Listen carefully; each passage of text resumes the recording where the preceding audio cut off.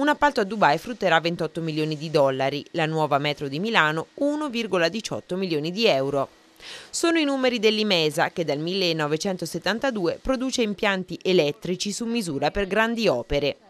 Attualmente dà lavoro a 230 dipendenti più l'indotto in Italia e Bulgaria. Per questo oggi Claudio Andrea Gemma, amministratore delegato di Nidec Ansaldo Sistemi Industriali e presidente di Confindustria ANIE, Federazione Nazionale delle Imprese Elettrotecniche ed Elettroniche, ha visitato gli stabilimenti di Iesi.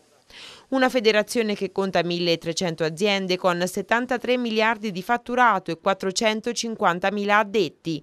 In Italia, ha detto, bisogna recuperare competitività riducendo il costo del lavoro ed aumentando l'innovazione. La grande intuizione di Mesa 14 anni fa è stata investire nelle sedi estere dei paesi in via di sviluppo come Brasile, Indonesia ed Emirati Arabi.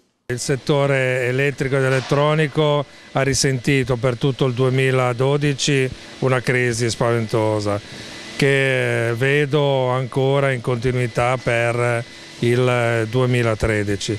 I primi tre mesi ci sono alcuni settori che hanno una, uno sviluppo e una crescita di lavoro ma soprattutto a livello internazionale. In Italia lavoro non esiste. La forza di Mesa dunque è duplice, la rete commerciale e la capacità di innovazione. Tra le realizzazioni ci sono impianti davvero innovativi.